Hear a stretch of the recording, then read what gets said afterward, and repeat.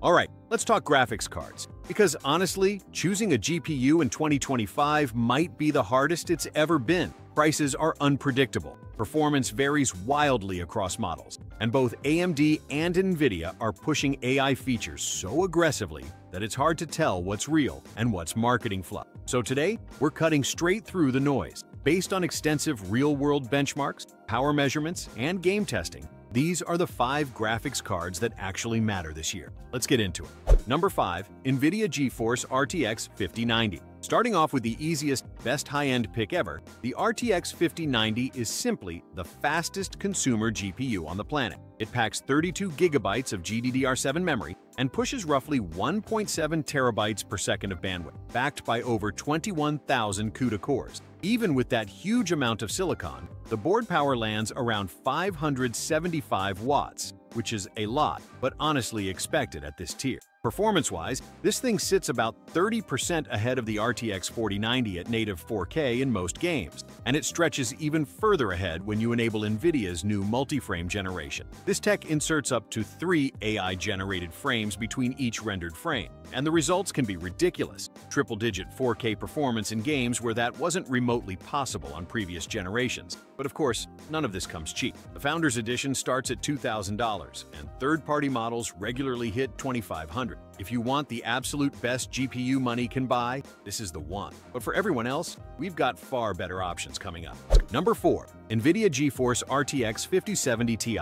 Sliding into the mid-range, the RTX 5070 Ti is the sweet spot for high refresh rate 14 and 40p gaming. It ships with 16 gigabytes of GDDR7 and nearly 900 gigabytes per second of bandwidth, giving it a ton of headroom for modern Power AALA textures and ray-traced effects. One of the biggest strengths of this card, though, is how effortlessly it overclocks. Every sample we've tested pushes close to or past 3 GHz on the core while staying under 70 degrees, which is crazy for a mid-range GPU. At 1440p, the card regularly delivers triple-digit frame rates in demanding titles, even before you turn on DLSS 4 or multi-frame generation. And when you do enable those features, the 5070 Ti becomes surprisingly capable at 4K as well. Its closest competitor is AMD's RX 9070 XT, and while that AMD card can sometimes pull ahead in raw rasterized performance, NVIDIA's stronger feature set and its incredibly consistent frame gen performance keeps the 5070 Ti in the lead, at least when prices aren't inflated. And that last part matters. In some regions, this card has crept up toward $900. But if you can find it close to the $750 MSRP, it's easily the best mid-range GPU of the year. Number 3. Intel Arc B570 Now, for the biggest plot twist of the entire list, Intel actually has the best budget GPU in 2025. The Arc B570 might not sound exciting, but when you consider what it offers for around $200, it becomes a shockingly good deal. It carries 10 gigabytes of GDDR6 memory with around 380 gigabytes per second of bandwidth and draws only about 150 watts under load. In real-world gaming, this translates into a very comfortable 60 frames per second experience at 1080p with high settings. And if you enable upscaling or frame interpolation, the card can even handle 1440p in a lot of titles. Intel's drivers have improved massively since the rough early days of Arc, and while you'll still occasionally run into a game that needs a patch, the overall experience is far better than most people expect. There is one caveat. NVIDIA's RTX 5050 is supposed to launch around $250, and if that price holds, the B570 might lose its crown. But right now, with actual street pricing, this is the most capable true budget GPU you can buy.